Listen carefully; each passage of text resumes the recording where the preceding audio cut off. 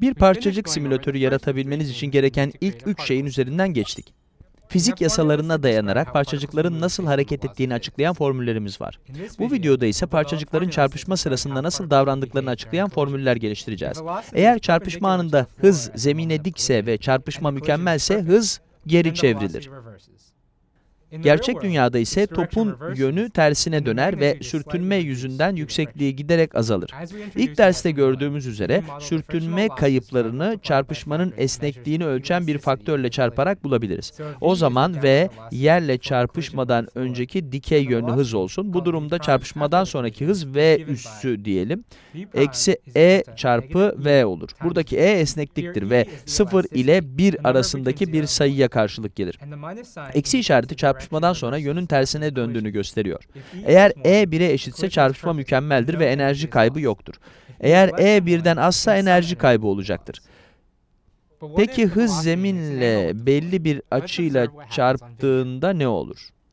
Ne olduğunu videoda izleyelim. Topun ışığın aynadan yansıması gibi sekmesine dikkat edin. Yani topun gelişteki hızı zeminle teta açısı yaparsa V üssü de aynı açıyı yapacaktır. V üssünü V'den hesaplamak için V'yi iki vektörün toplamı olarak yazmamız gerekiyor. Evet yazalım. Zemine paralel hıza V paralel diyelim ve zemine dik olan hıza da V dik diyelim.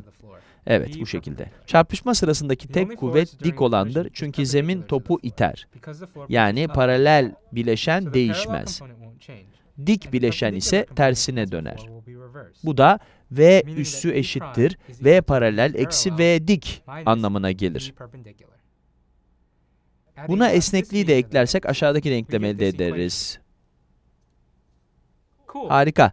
Hızı paralel ve dik bileşenlerin toplamı olarak yazma fikrini aynı kütleli I ve J parçacıklarının çarpışması durumunda da kullanabiliriz. Daha iyi anlayabilmek için çizmemiz gerekecek arkadaşlar. I parçacığının merkezinden J parçacığının merkezine geçen IJ doğrusu zemine dik olan vektörün görevini görür. Burada gördüğümüz gibi iki vektörün toplamı olan VI'yi yazıyoruz. VJ için de aynısını yapıyoruz. Çarpışma sırasında parçacıklar üzerine etki eden tek güç IJ doğrusu üzerindedir. Önceden olduğu gibi paralel yönde etki eden bir kuvvet olmadığı için paralel yöndeki hız değişmez. Dikey yönde neler olduğunu tam olarak anlamak daha ileri düzeydeki konuları yani enerjinin korunumu ve momentumu bilmeyi gerektirir.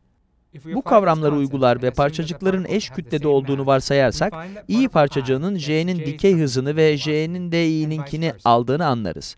Yani parçacıklar dikey hızları aralarında değişirler. Bu da şu anlama gelir, çarpışmadan sonra v üssü i ve v üssü j bu denklemlerle bulunur. Parçacık çarpışmaları bu kadardı. Sıradaki alıştırmada bu çarpışmaları açıklayan denklemleri gözden geçirin lütfen.